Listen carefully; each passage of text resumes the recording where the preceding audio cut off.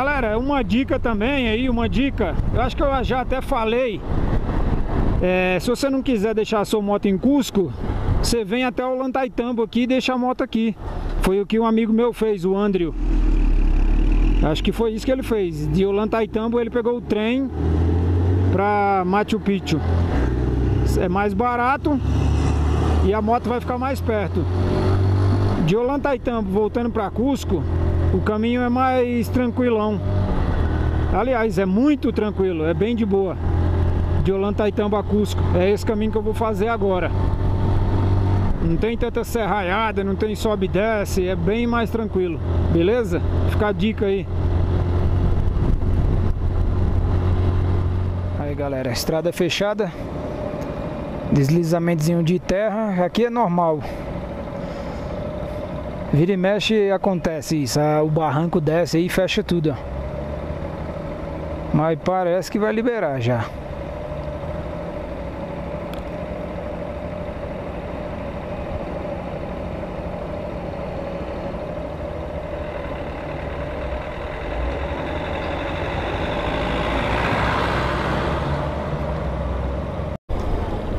É isso aí, ó. O barranco desceu. Aí eles vai limpando, vai jogando pro pro canto e vai liberando o povo.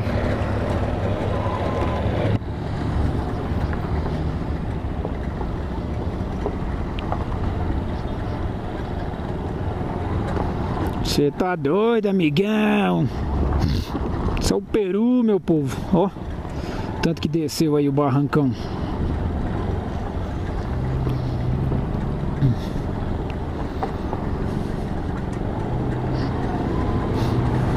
Aqui é muita estrada, cara. Aqui e na Bolívia é muita estrada assim no, nas montanhas.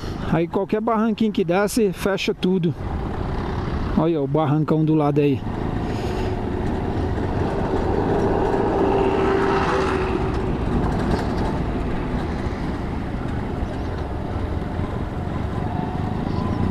Simbora. Liberou. Asfalto de novo. Peguei Peguei um atalho ali, galera, por dentro de um povoado, estrada de chão, como sempre, mas economizei uns 20 km aí, 30 km. Tá dando 621 km até Nasca. Só que não sei se eu chego lá hoje não, por causa que agora são 10h37 da manhã, beleza. Só que tá dando 11 horas e 40 minutos de viagem. A estrada é igual aquela estrada que eu vim lá de Santa Maria para Olantaitambo. É assim, ó. Curvaiada doida. Amigo meu falou pra mim que o negócio lá é tenso, viu? É a tal da transoceânica. Mas de boa, de boa. Vamos sem pressa, vamos no sossego que acaba dando tudo certo. Simbora.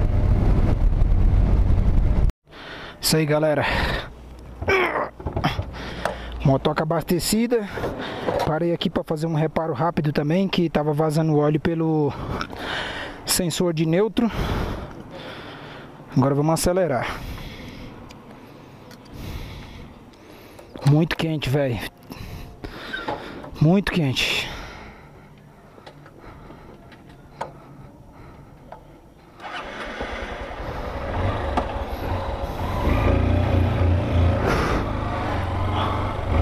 Agora tava 4 graus, agora tá 30.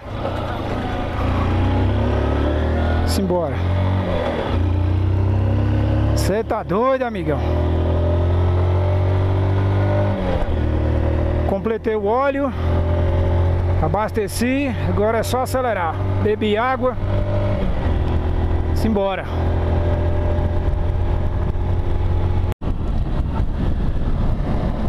Aí galera, o nome dessa BR aqui, dessa ruta, é Transoceânica. Vai até o Pacífico, até o Oceano Pacífico. Top, né não? Agora é curva, meu irmão, é curva, que tá dando 12 horas pra mim rodar 600 km. Aqui é apreciar a paisagem e curtir o momento, né? Não adianta pressa não. Vou cruzar toda, toda a parte de montanha aqui do Peru até sair lá no oceano. Então é curtir sem pressa. Se eu fizer uns 400 hoje tá bom demais.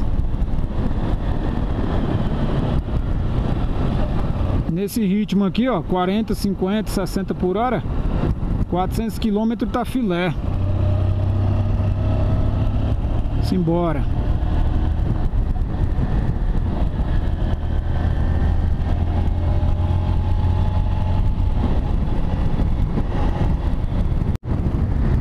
Aí galera, primeiro moteiro viajante que eu encontro, velho.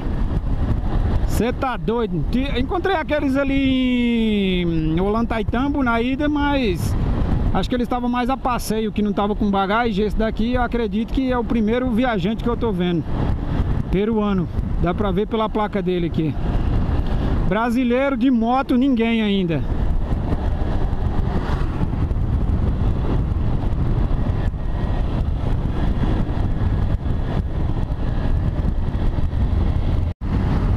tá doido, amigão?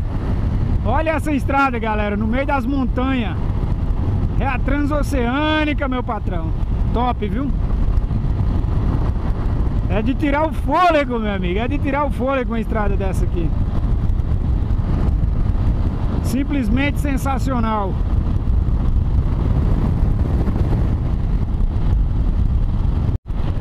Olha isso, galera. Você tá doido, amigão? Ave credo! Não deu pra filmar tudo, mas e o medo de uma pedra daquela ali desmoronar? Você é doido, meu patrão! Você tá doido, Miguel! Que estrada sensacional é essa, velho?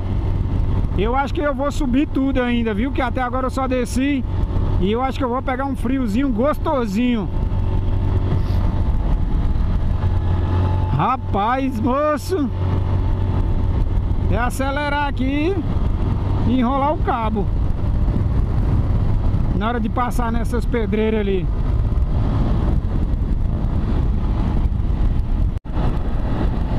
Depois aí galera, depois de mais, cento, mais de 150 quilômetros de estrada desse jeito aqui que vocês estão vendo Curvas e mais curvas Sobe serra, desce serra Estamos chegando aqui na cidade de Abancai. Acho que é o nome da cidade, acho que é esse. Top, hein? Olha o monte lá em cima, tudo nevado. Abancai. Acho que eu vou parar aqui em algum lugar, fazer umas compras que meu baú de comida está praticamente vazio. Como é uma cidade grande, deve ter mercado. Depois nós acelera aí para dormir em algum lugar hoje e amanhã chega em Nasca, se Deus quiser. Agora são 1h57 aqui. Vai dar duas no Brasil, vai dar quatro horas, né? É, duas horas a menos no Peru. Vai dar duas horas, eu ainda tenho umas quatro horas de sol ainda. Aqui é assim, ó. O cara vem, ele joga na contramão e dane-se quem estiver vindo. Tem que ter muito cuidado ao trafegar aqui no Peru, galera. Muito cuidado.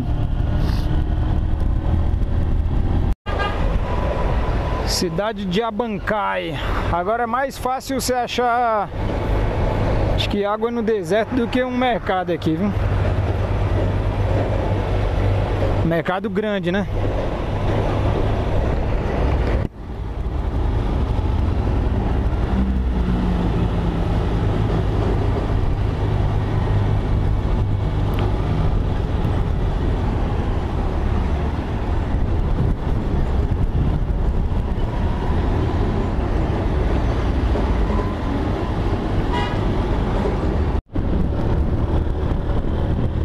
Eu ouvi a menina falando, galera, que aqui no Peru, a esposa do rapaz lá da Kombi, ela falou que aqui no Peru os mercadinhos pequenininhos não deixa muito o cara entrar, né? E é verdade. Deixa eu ver se aqui tem alguma coisa que eu quero. Tá vendo? Eles não deixam você entrar.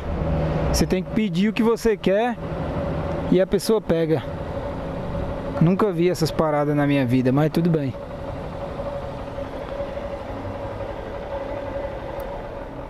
Vamos dar uma olhada aqui se tem alguma coisa. Que eu tô quase sem comida já. É galera, é, é do jeito que é do jeito que eu falei pra vocês mesmo. Você encosta na vendinha ali, na mercearia, você pede o que você quer, ela não deixa você entrar não, você tem que pegar da porta ali. É ruim demais, meu. Aí a pessoa não sabe o que, que você quer, às vezes você quer olhar o que, que você quer comprar. Não gostei não dessa parte aí não, muito zoado. Procurei, procurei um mercado grande, não achei aqui, aí comprei umas coisinhas ali mesmo só para emergência. Depois eu paro em outro lugar e compro.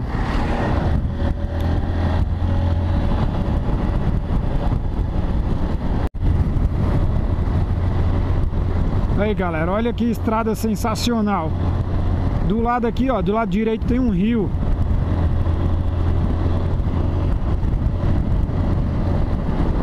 Lindo, hein?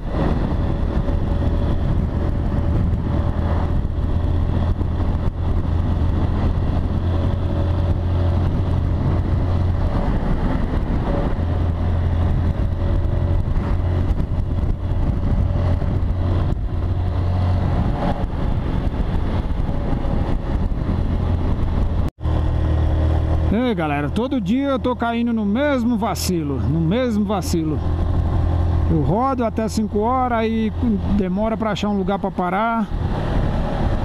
É, a partir de amanhã, deu 4 horas, se eu não achar lugar para acampar, eu vou pegar uma pousadinha, um hostel. Pra esses lados aqui é frio pra caramba, meu. Essa hora vai esfriando. E quanto mais tarde fica, pior pra você achar um lugar para acampar, né? E a próxima cidade aqui, pelo que eu tô percebendo, parece que tá longe. Então, a partir de amanhã eu vou mudar o esquema aí. Bateu 4 da tarde já começar a procurar um lugarzinho. Não tá bacana.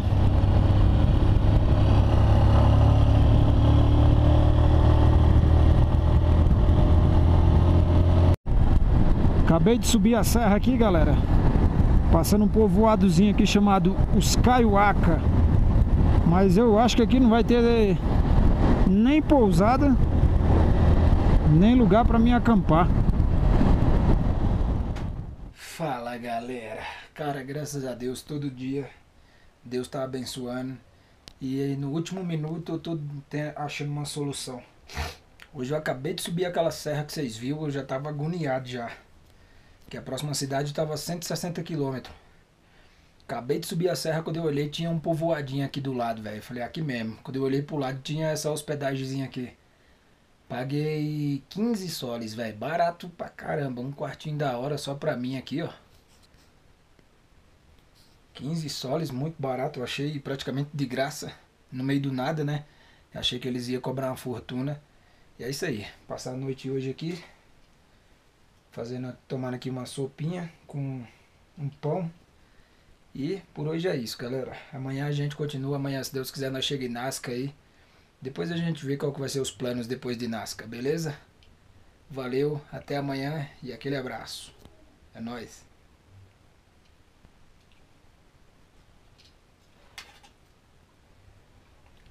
Bom, hein?